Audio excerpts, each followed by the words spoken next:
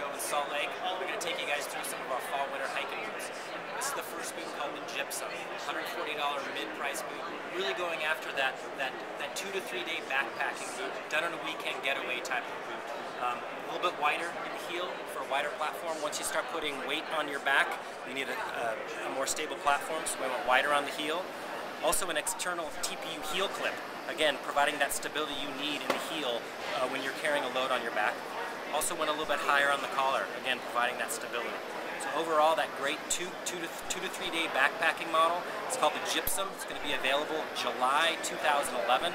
Comes in both mid and low, men's and women's. That great fun, keen design language. We're really excited about the direction of that. This the Gypsum.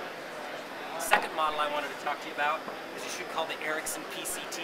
This is up at the top of our hiking range, that multi-day backpacking model, the first full leather backpacking boot we've done here at Keen. Has a great five-part bottom, super stable um, um, platform that we have with our Keen Key Tech innovation, which ties stability in the heel all the way to the forefoot, keeping the, the heel and the forefoot stable, but keeping it also flexible as well two-part midsole with polyurethane and EVA for, again, a, a, more stable platform, as well as this is a board-lasted model, so it's going to be nice and stable as you're carrying those heavier backpack loads for the multi-day backpacking, that's what it's for.